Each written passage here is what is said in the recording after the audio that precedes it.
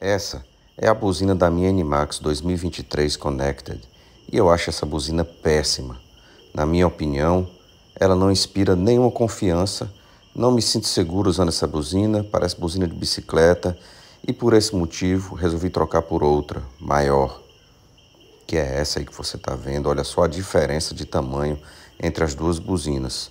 O som também é bastante diferente mas foi facílimo de instalar, não precisou de adaptação nenhuma. Ela coube no mesmo lugar que a outra buzina estava, a original, e ficou perfeita, na minha opinião.